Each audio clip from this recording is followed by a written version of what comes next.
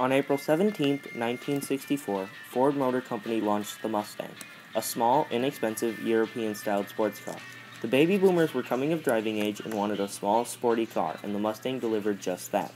The Mustang was an instant success, selling over 22,000 cars within the first 24 hours and over 1 million cars in the first two years of production, becoming an instant leader in the automotive industry.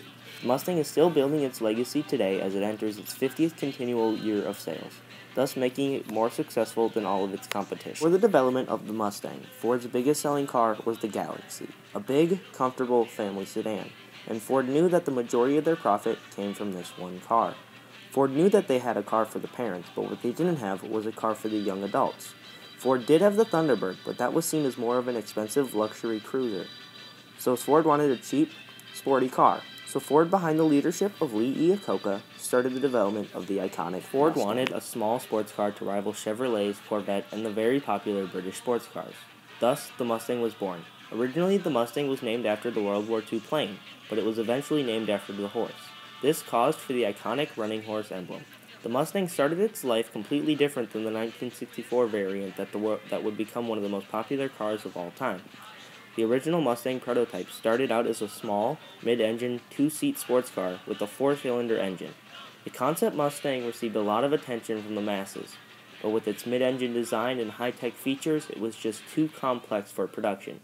At this time, Ford was also working on a four-seat sports car, also named Mustang. This car resembles the Mustang of 1964 that we all know significantly more than the original concept of 1961.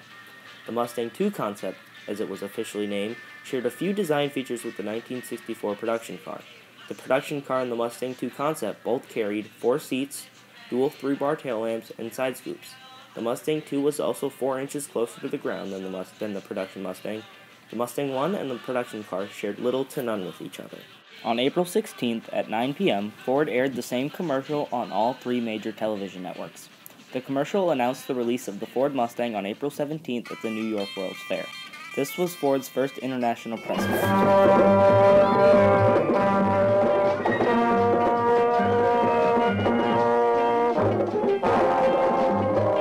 the Ford Pavilion, there's a daydream corner called Mustang. This is the car that dreams are made of.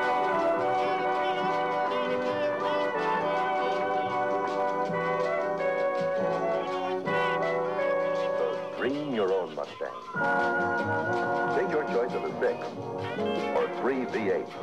Power steering, power brakes, automatic or standard transmission, dozens of options. But as standard equipment, you get bucket seats, wall-to-wall carpeting, all vinyl upholstery, padded instrument panel, and full wheel covers. Even though Mustang is a dream, its low price is a beautiful reality. Test drive one right now at your Ford dealer in Pleasant Tree. While at the New York World's Fair, there were reporters from Puerto Rico, Canada, and the United States. But at the same time, the car was being introduced in 11 other nations. At the World Fair on the 17th, Lee Iacocca, head of the project, delivered a speech. In his speech, he talks about how much excitement the car has developed. He reads letters from fans with questions and comments. One of them is from a Louisiana high schooler promising to start a Mustang club. There are still hundreds of Mustang fan clubs around. Also, in his speech, Lee Iacocca revealed the starting price of the Mustang.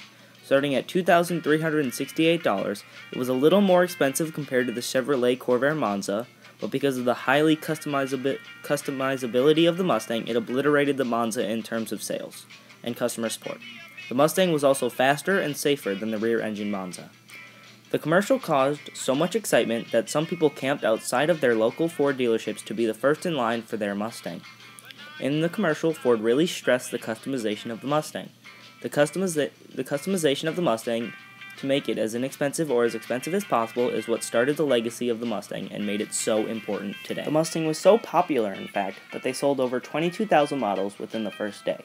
By the end of 1964, they had sold 263,434 cars. By the Mustang's first anniversary on April 17, 1965, Ford had sold 418,812 cars. This was a massive amount of sales compared to the other vehicles of the time. By the second anniversary, Ford had sold 1 million cars. The first two years of the Mustang's production were the most successful in the car's entire 50 year history. It wasn't until 1966 that Chevrolet responded to the massively successful Mustang with the Camaro. The Camaro and Mustang have been battling ever since.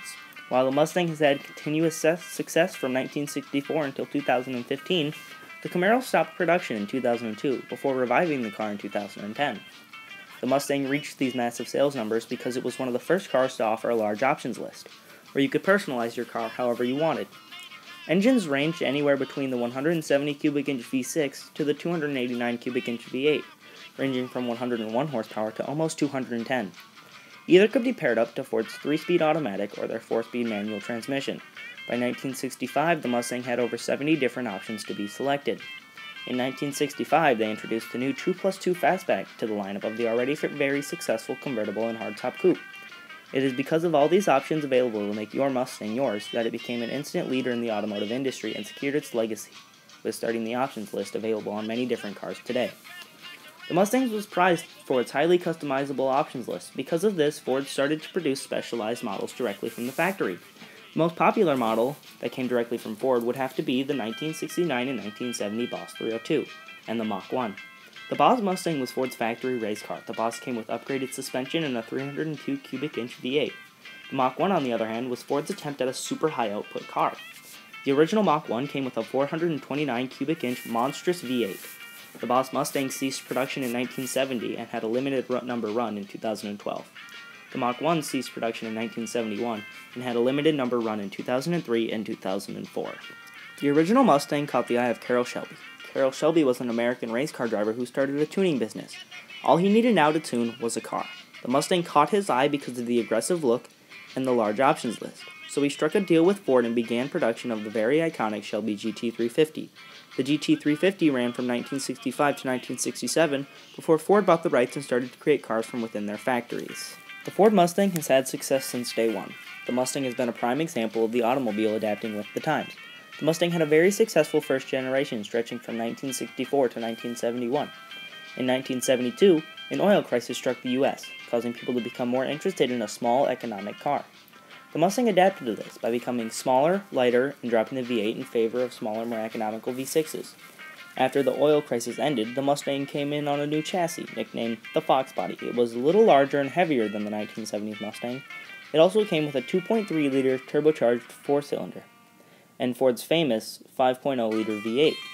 The Fox body platform Mustang ran from 1978 to 1993 before Ford switched over to a new Fox 4 platform.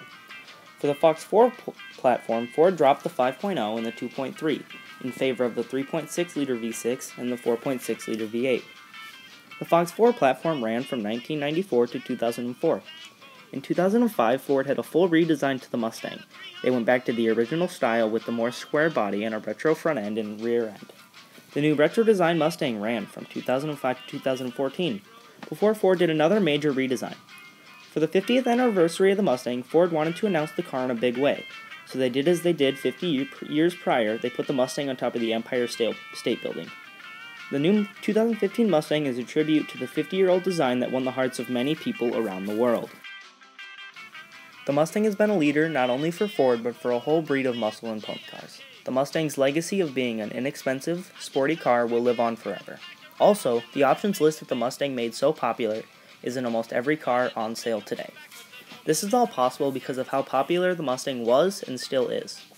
The Mustang will go down in history as one of the most important cars ever produced, but Ford doesn't plan on, on the car stopping production anytime soon with the introduction of the 2016 Shelby GT350, the next installment of the race ready Mustang.